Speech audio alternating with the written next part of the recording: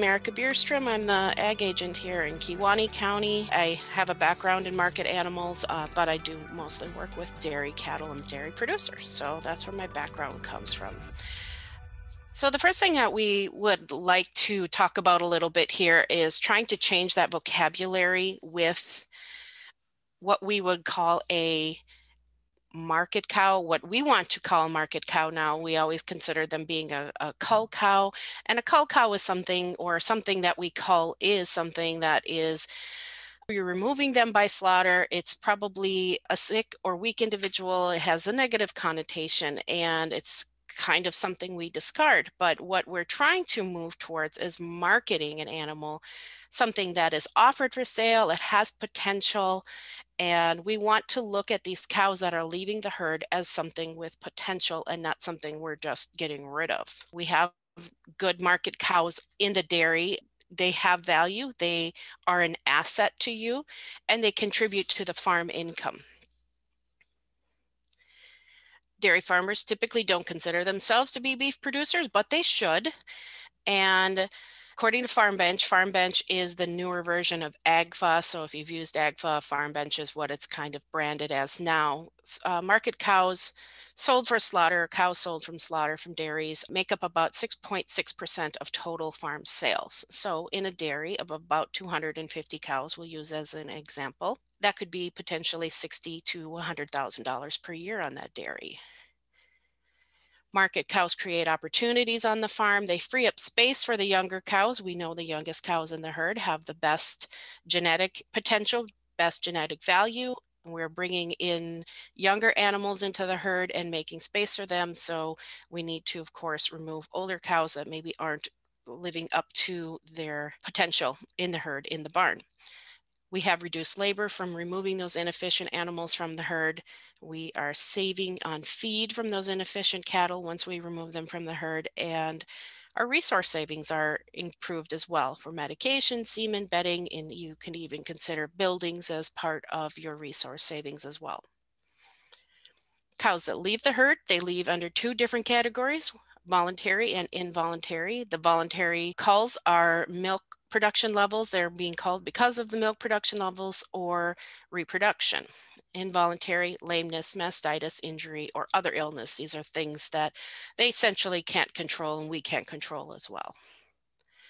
When we look at the cows being sold for slaughter out of the dairy, the majority of the issues, the reasons they are leaving the herd is because of poor production, udder mastitis problems, reproductive problems, or lameness and injury. We'll talk a little bit more about disease on the next slide. And aggressiveness, we don't see that very often in dairy cattle. Once in a while we run into them. If we were looking at a pie chart of beef cattle, this would be there'd be quite a bit more aggressive cattle being culled for that reason or sold for that reason.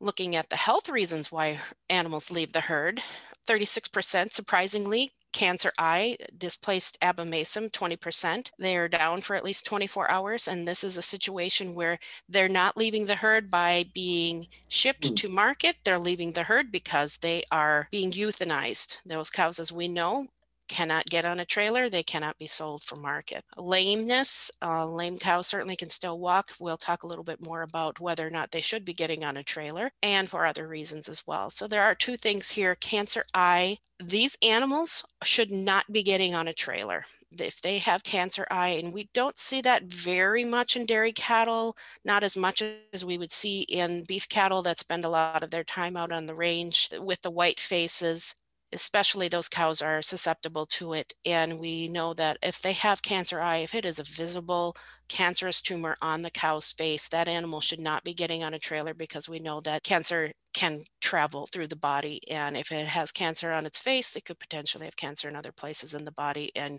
you're risking that cow of going to slaughter and being condemned. Displaced abomasum, that is another interesting topic because when that cow has a displaced abomasum, that's something that could be easily remedied with some intervention. And rather than dealing with a cow having a surgery, a quick surgery, and getting that fixed, these farmers are choosing to put these cows on a trailer, potentially a situation where that cow is going to be in pain and uncomfortable and um, maybe just not in the best shape for transportation uh, going for the next couple of days until she's processed. Market cows.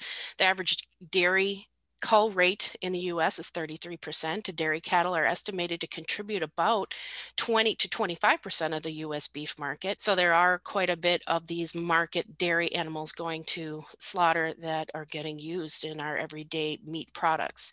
Market dairy cattle provide much more than ground beef. I've heard it a million times. Well, they're all just going to be ground beef in the end.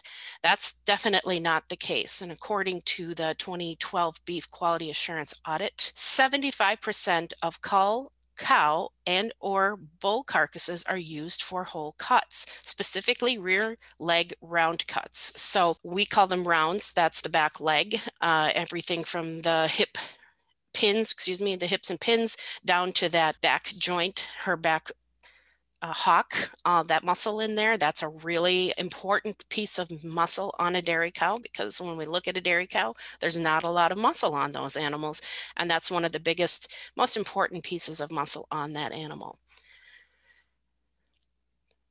these are two things I that stuck in my head as I was sitting at a table with a farmer. Uh, not the same farmer; these aren't the same quotes from the same farmer, but two different places. And the one that really stuck in my head is she didn't bleed out, so I guess we got lucky. So that means they were putting a cow on the trailer that they completely expected to not make it to the slaughter plant. That is not what we should be doing. It's not in your best interest to be putting a cow on that trailer in that shape. It certainly isn't in her best interest. It's just not the thing we want to be doing now to be a responsible, good producer. And the other one was, I can't believe that one wasn't condemned. Again, they're putting an animal on the trailer they know isn't something that should be leaving the farm in that condition. And when you think about it morally, are you doing the right thing? Are you doing the right thing for that cow? The other thing we want to uh, just kind of address here is when you put a cow in the trailer, would you be willing to put your name on the side of the cow like that, like I have in this photo?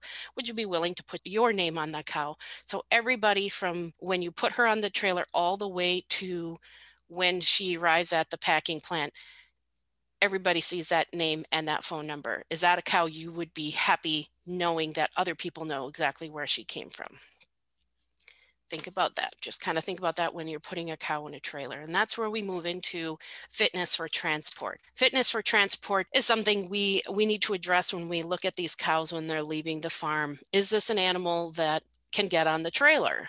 Is she going to be able to manage this trip. Transport is very stressful, mingling with new cattle. There are long periods of standing. We go back to that one slide where we had about 15% of the cows are lame. So when they're lame, the first thing they want to do is lay down, right? There's not always room for them to move and lay down.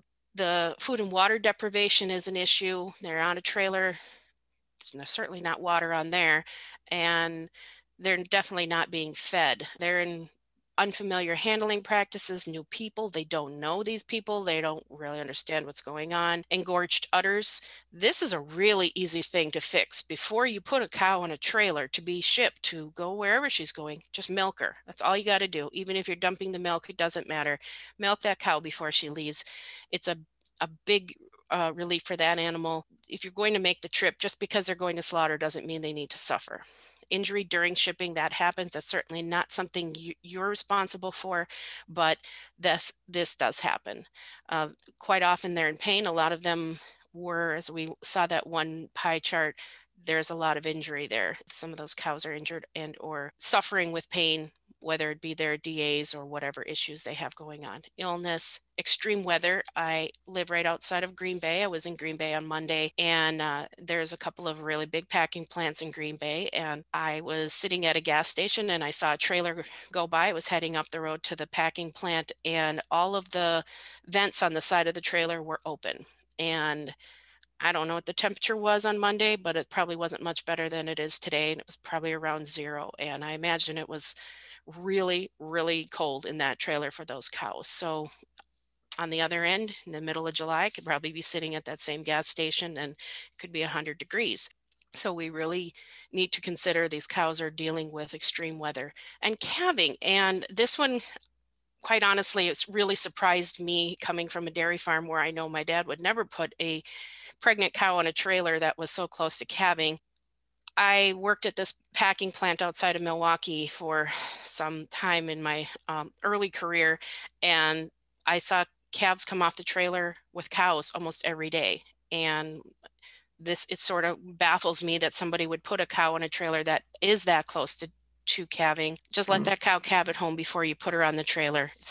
you got to ship her after she calves, it's better than subjecting that cow to that very stressful event on a trailer, let alone having that calf being born on the trailer and potentially being injured or killed just because of the crowded conditions on the trailer fitness for transport, moving on a little bit here. The American Association of Bovine Practitioners has developed a set of guidelines to determine fitness for transport, and every farm should establish a set of standards with their herd managers and veterinarian, and that does result in marketing the best cow possible. We'll talk about this a little more, but cows leaving the herd should be insured her welfare until harvest. So it is your responsibility as a producer, as somebody who's putting a cow on a trailer to make sure that she makes it, you're putting the best cow on the trailer that is going to get to market.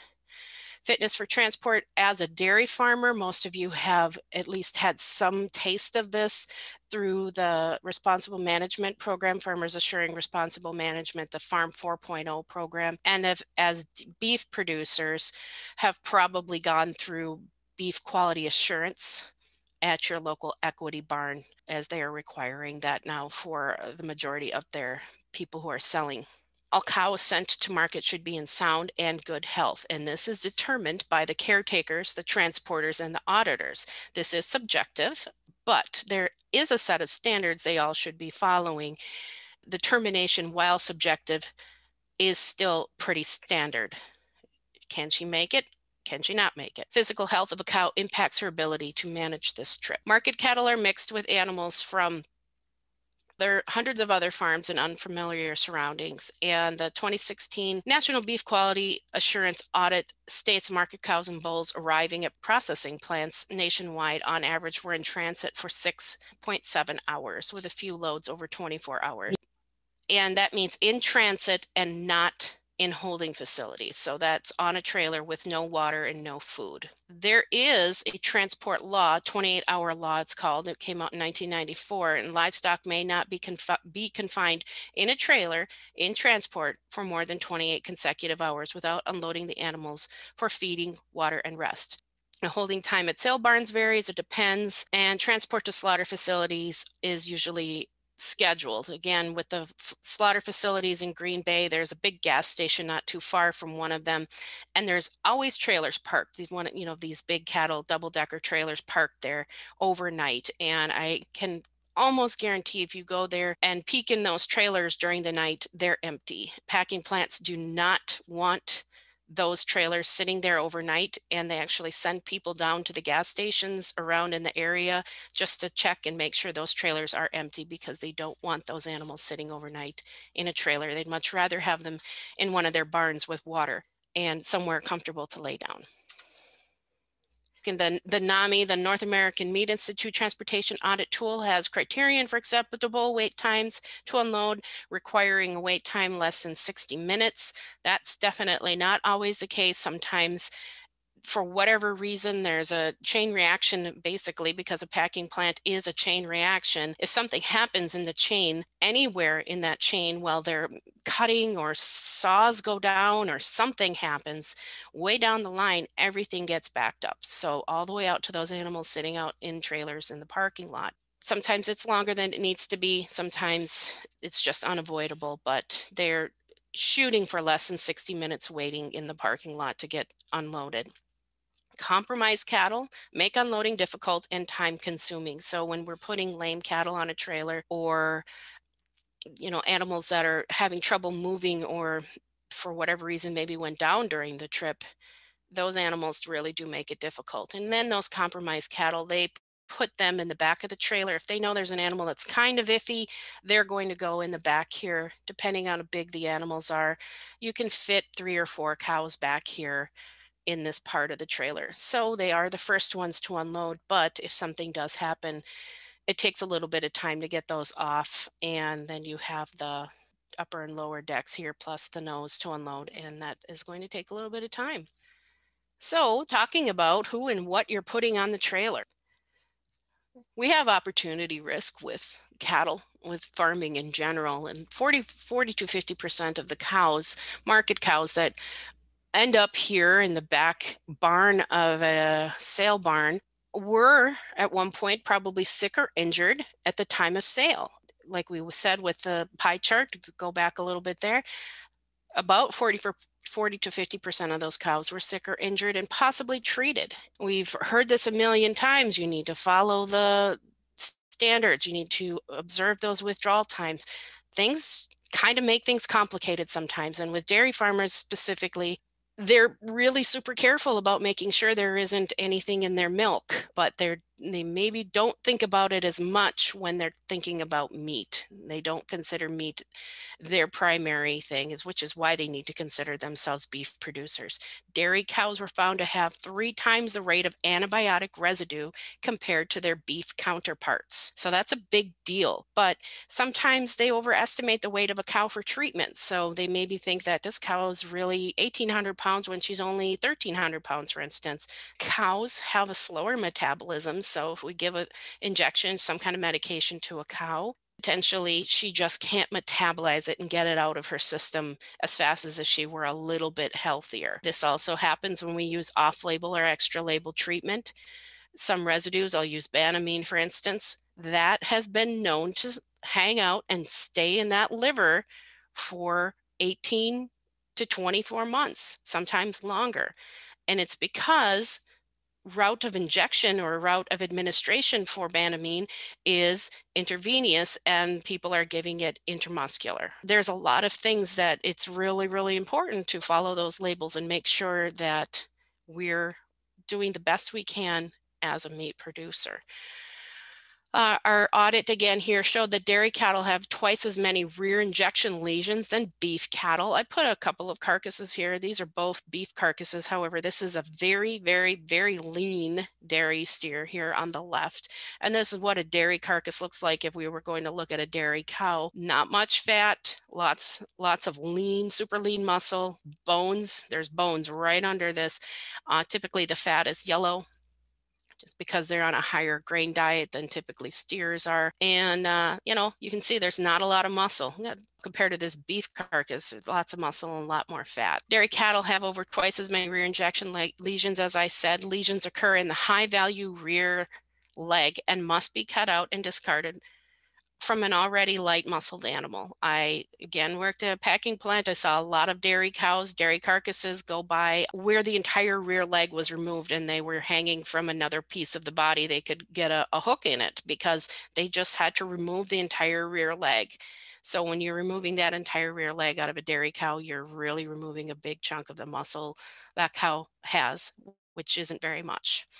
Bruising occurred in 64% of cow carcasses and must be cut away and discarded. And bruising typically happens within the last 24 hours before harvest. Again, some of this isn't your, your issue as a dairy producer, but at the same time, it's also, you know, it could have happened when she was getting on the trailer at your farm. It could have happened 10 minutes before she was slaughtered, but it's your responsibility all the way to the end.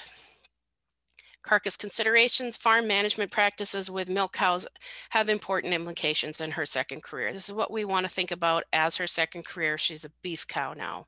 She is a beef cow from the beginning, from when she's a very tiny baby calf, but now this is reality and she is in her second career.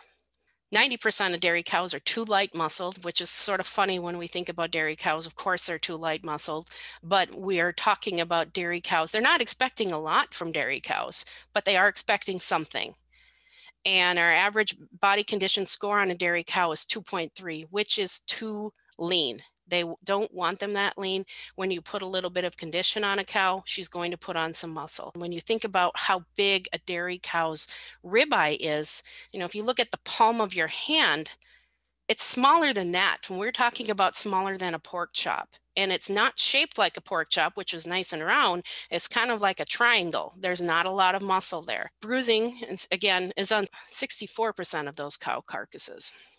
So here's a dairy cow in a two body condition score. It's too lean. Uh, we look at this and we think this dairy cow, she's a dairy cow. She doesn't look too bad, actually. She's too lean. She is in a negative en energy balance. This cow is probably milking a lot, But if she's in a negative energy balance, that means she's losing weight every day. She's putting all as much as we can, at least as much as we hope she will, put a lot of her energy she's taking in every day and putting that into making milk. But it's important to maintain that body condition too how do you improve what you have? How do we take this two body condition score cow and make her a two and a half? Now, this cow she's not that much better. She's still got ribs showing. She still has her hips and her pins showing. But look at this rear leg compared to this cow. It's kind of concave here. This cow's got some muscle in her back leg. She's got a little bit of finish on her, a little bit of cover. And that's kind of what we're looking to see. We want to see something on these cows. Again, we're not expecting the world from them, but we need something from them when we're talking about marketing to our buyers you have to think about well maybe maybe this is a good time to talk to the sale barn and find out who's buying my cows. Where are my cows going? It's a good question to ask and these sale barn managers they know there are buyers out there. They know who they like to buy cattle from when I worked at the packing plant, I was a cattle buyer, and I'll tell you what, you don't want to get burned more than a couple of times from some skunky cattle that come in and they make you look pretty bad. Uh, you want to buy the best animals you know are going to make it to market and make that company money.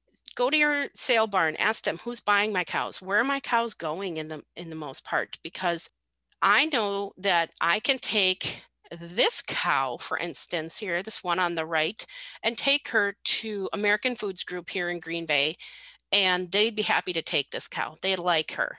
And I know I can take this cow is probably maybe even a little too heavy for Abbyland up in Abbotsford, Abbotsford area.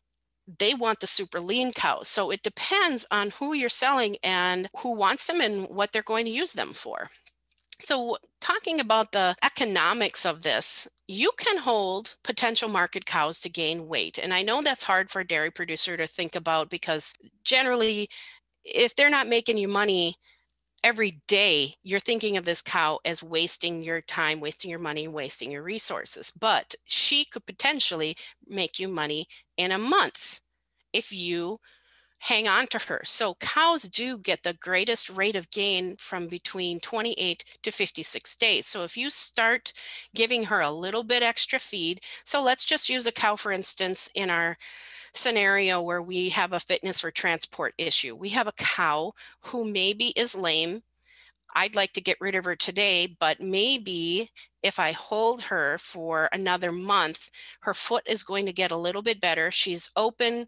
She's not going to make me any money. I don't intend to breed this cow anymore. However, I could add a little bit of value to her. Hang on to her for another 30 days. 30 days, her foot will feel better. She'll be moving around better. She's going to bring a better price at the market. I can feed her extra refusals. It's cheap feed you're going to have to mix in some fresh stuff in there to get her to eat a little bit more. But her dry matter intake should be between two and a half to three percent of her body weight. So if you're thinking about that with that in mind, normally there should be like a, a regular cow. This is two cows, two fresh cows here in a, a dairy herd, are taking in 60 to 80% of her diet is grain. You can expect at 80% grain, three pounds a day gain. So if we could put on this cow maybe 50 to 75 pounds, she could look like this cow in 30 days. So why not hang on to her a little bit longer, let that foot heal because she's not fit for transport right now, hold her for 30 days instead of euthanizing her or whatever you need to do with her, and put a little bit of weight on her and focus on getting her to gain a little bit of weight. Take advantage of what you have. Cheap and plentiful corn silage. I was at a dairy farm yesterday. They have corn silage until I think they said August of 2022. They have enough feeding 4,000 dairy cows, enough corn silage to get them to August of 2022. Corn is expensive right now, five something. I'll have to ask one of the grain people or one of the crops people on the call here today, but corn's expensive right now. Use your corn silage. Last year was a great corn silage year. Hopefully, there's a lot sitting around on your farm too. Protein is plentiful you don't need to put a ton of protein into this feed. Nine and a half to 11% of a dietary dry matter intake is adequate. Uh, other expenses, so these are the other expenses you might, may potentially see, medicals, utilities, fuel, 10 cents per pound of gain. And then another 45 to 50 cents per pound of gain for labor management and facilities. So we're looking at 55, 60 cents per pound. They'll make that up at the market if you get them a good cow. So this is uh, one thing, hopefully this will open up. This is a tool called economic value of a dairy cow. So this is something where you can take a cow, say for instance, so let's just kind of play around with this a little bit here. We got a, well, we got a third lactation. We'll leave that there. And let's just say she's milking right now. She's not milking very much. She's not a good cow. We're kind of thinking about it. Um, we don't know what to do with her.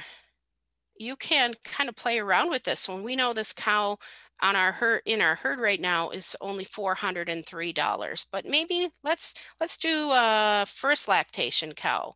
It changes. So this is something you can go into put in your own numbers in these cells here and it will get you a value of this cow what her value of the cow is on in the herd right now and potentially what her value is if you sell her as a market cow. So this is a pretty cool tool. It's kind of fun to play around with. So in summary, uh, get your, get into this market cow mentality.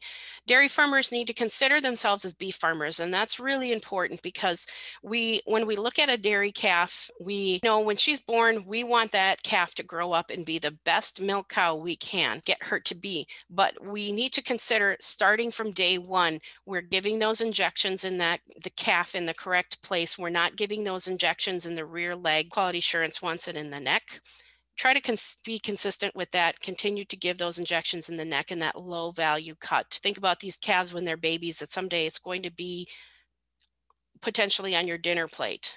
And we want to be putting the best possible quality animal out there. So we can have the next part here is that carcass quality matters. All of the cows leaving the farm should be evaluated for fitness for transport. So we can um, try to really push to get to have these animals be evaluated because if we're using this mentality where we're thinking, well, I sure am happy that cow didn't bleed out and die on the trailer, you're not doing a good enough job of making sure this cow is fit to tr- be transported. Market to your buyer, try to figure out who your buyer is, find out where your cows are going, and gain pounds on your cows to gain some money.